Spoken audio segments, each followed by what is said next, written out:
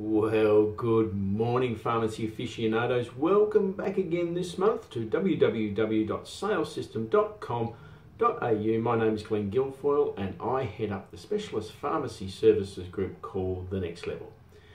And we come to you each month in this form, both written and short video clip with some uh, different uh, little morsel for you to cogitate over in your pursuit of uh, the perfect forward pharmacy service model.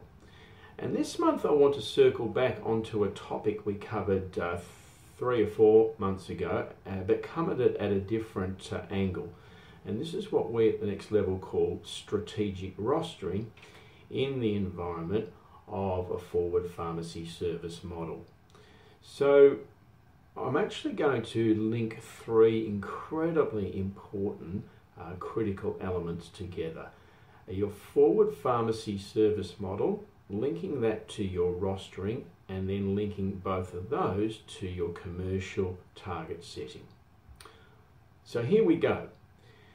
Having travelled around India last year around the classic Golden Triangle, I actually think about that when I think about this trilogy or this triangle of pharmacy critical um, aspects of uh, the new world of service delivery.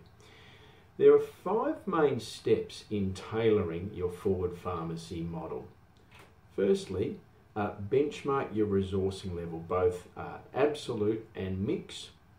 And then, secondly, set your min max levels of your resourcing levels by role type within the mix in accordance to the ebbs and flows of your classic customer flow traffic patterns.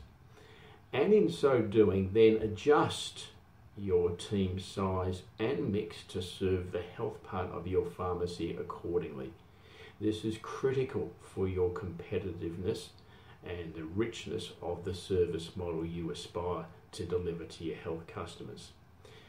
Thirdly, determine the level of your service specialisation. Thinking about script, the script in service, script out service, and OTC service, and the degree to which you want to separate those by location, or to which the degree to which you want to combine any of those at a single uh, service location.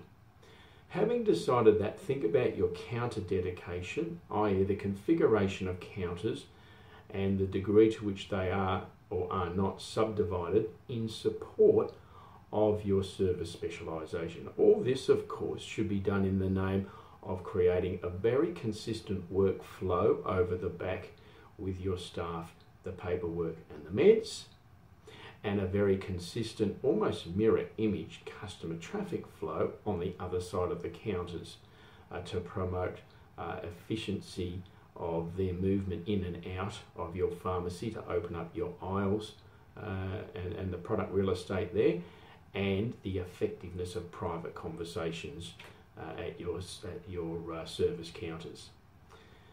Um, then the final part of, uh, of, the, of this piece, the, the forward pharmacy piece, is to then actually start to shuffle uh, your, your team members by role type, almost like your pieces on a chessboard, in an attempt to set up your first cut of what's ultimately going to become your weekly roster. And the name of the game here is uh, maximising forward stationing or forward orienting of your pharmacists with uh, tech support at the rear and pharmacy assistant uh, support, uh, which we'll touch on uh, in, in a couple of seconds. All right, moving on. Now, there are four main steps to your rostering, having now um, completed the key components of your forward pharmacy uh, stationing for, for forward pharmacy service. So, to, to this uh, foundation of, of an emerging roster, now fill the gaps, so to speak, with pharmacists stationed out the front, uh, tech station at the back. Now fill the service counter and service gaps with pharmacy assistants so that you've covered off and got adequate resourcing of your service counters to deliver uh, the service model you aspire to. Think about this as now having right people um, at the right place at the right time. Now, to that emerging uh, baseline or foundation uh, plan, which will ultimately become your roster, um, now add up to four task priorities per intersection of role type at station, station being a service counter or a workbench. Now you're at the place which we would call right people, right place at the right time, uh, doing the right things. Now, uh, successively add to this plan the identity of names. Now you've got your first cut of your foundation weekly roster, to which you can then add um, penalty rates, pay rates, penalty rates, and start to calculate wage costs by shift, uh, by day, by week. So that's the second piece of my golden triangle, but I urge you not to stop there. Uh, now there are eight main steps to your commercial target setting. Don't just stop at the wages and cost equation. Uh, take the step to turn that into the denominator of your ROI calculations and target setting. So firstly, determine the ROI benchmark you want to set, 1 to 1.5 to 1, 2 to 1, 4 to 1, across the category of products. I suggest if you're uh, focusing this effort just on the health part of your pharmacy, it would be all health categories within S3, S2 and unscheduled.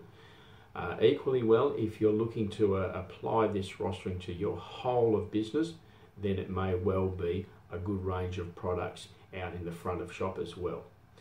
Um, having done that, set your average price across the chosen categories, then set your average GP uh, percent across those categories. This is almost like plugging in your assumptions. Compute your target unit volume accordingly per shift, per day, per week, and communicate those targets to the team. Inspire, motivate, and upskill them accordingly to host conversations that are going to achieve the dual benefit of a complete solution for your customers as well as increasing uh, volume, basket size, add-ons, companions, etc. Um, uh, in accordance with the complete solution and also uh, in accordance with raising profitability of the business.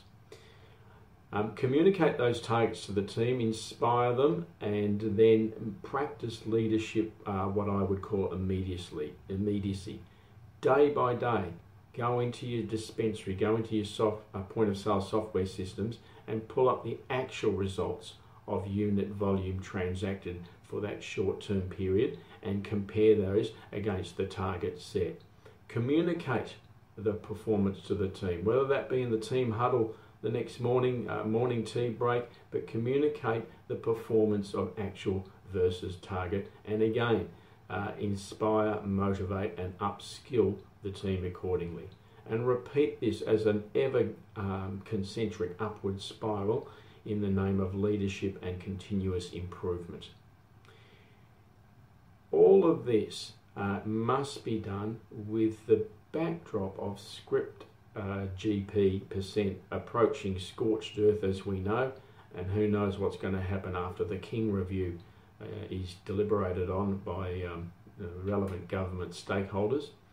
Um, so your opportunity now is to create this total customer solution as well as a significant uh, boost to your business profit profitability um, by instituting this golden triangle, linking your forward pharmacy service model with your rostering, with your commercial target setting.